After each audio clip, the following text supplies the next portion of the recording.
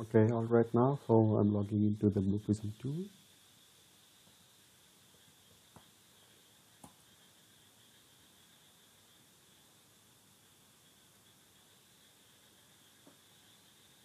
So this is how the Blue Prism tool looks. Okay. Okay. There are five tabs in this tool, which I will explain one by one later in this tutorial. First, we, we shall look at the Studio tab. Okay. In the Studio tab, we have two tabs called Process and Objects.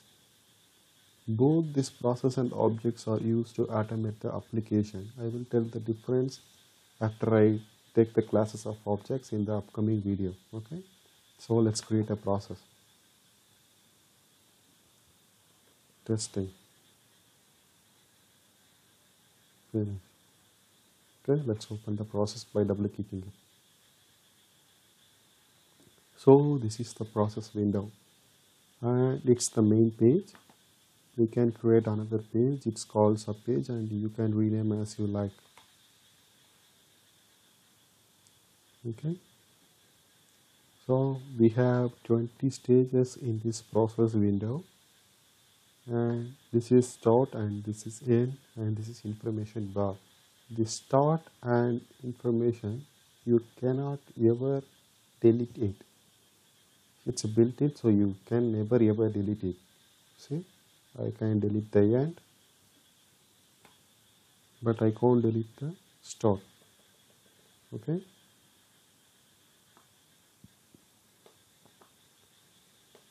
So what are these stages? What is the use of these stages?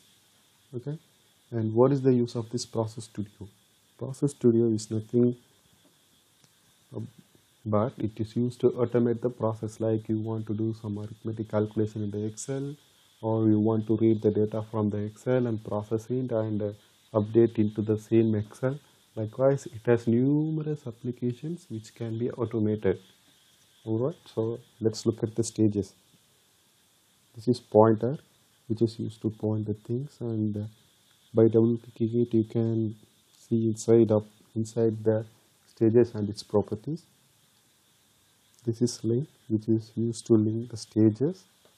You should always start with the center of the one stage and to the center of the another stage or else it will give you some error. Alright. This is block. It, it is just nothing but information window or comment something like that. Okay process. What is process? In programming languages we used to call a function within another function. Likewise this process window this process stage is used to call a process which we already created earlier. So I have already created all this process. Here I will show you. These are the process which I have already created. For example Gmail auto. Alright if you want to call that process you can just choose the Gmail auto and click OK. If you run this process it will straight away go to the sorry.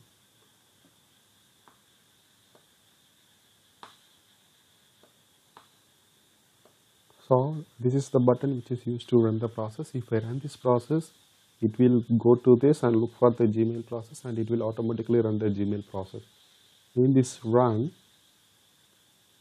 run button we are seeing three stages. One is slow one is normal and one is fast which you can use as you like.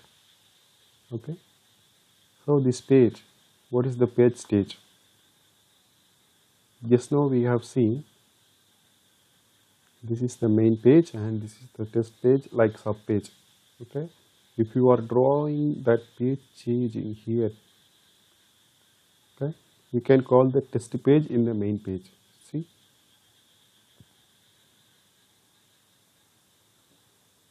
I am now going to run this program let's see if it calls the test page.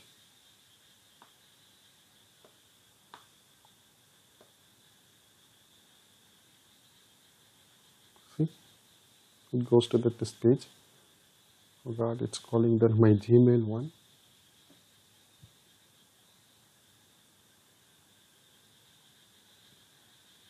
I'm just going to pause it because it's a big process. So I've already automated the gmail one. It's automatically going through the process of it. This is used to reset the process where you can start from the beginning.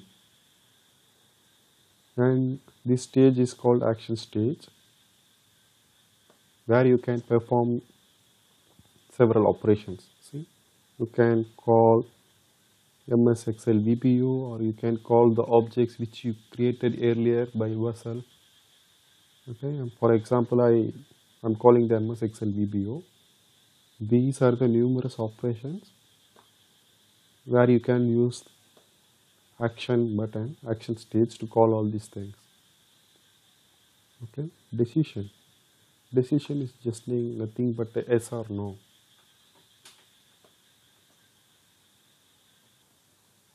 Okay, so I'm just placing the decision here and I'm just going to let it sorry not like this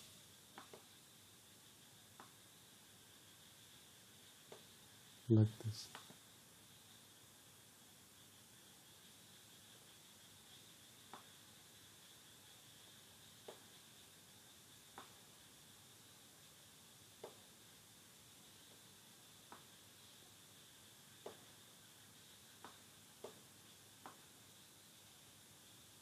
What you can mention your properties here and your expressions here which I will later explain detailing okay? This is the decision stage. This is the choice stage. It's like just a switch case in our programming. Decision will have only yes or no or true or false. In choice you can have multiple criterias just like a switch case in our programming language. Calculation.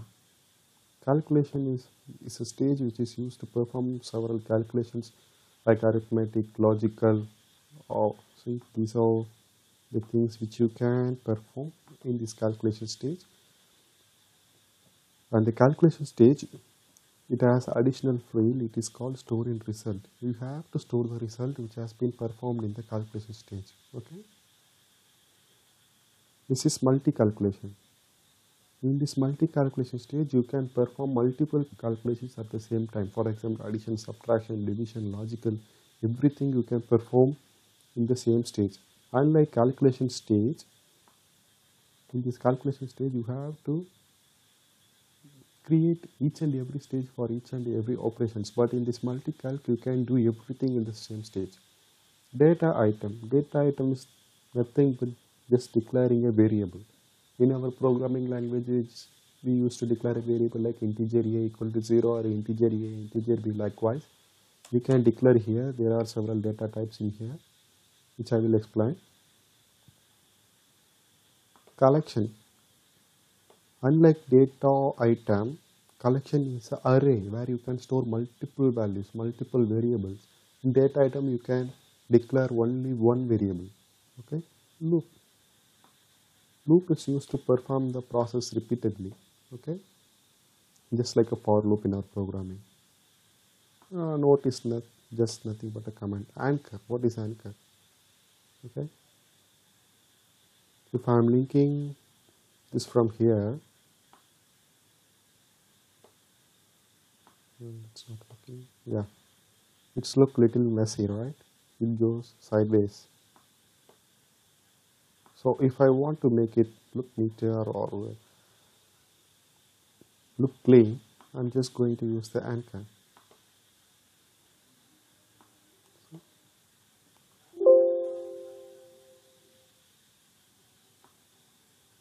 Likewise, we can use the anchor. And is just nothing but just the end of the process. Alert is used to give you the alert message exception. This used to perform some handle some errors and recover and resume. All these are used to handle the errors. In the upcoming video i will explain each stages by making some calculations giving it some process. Thank you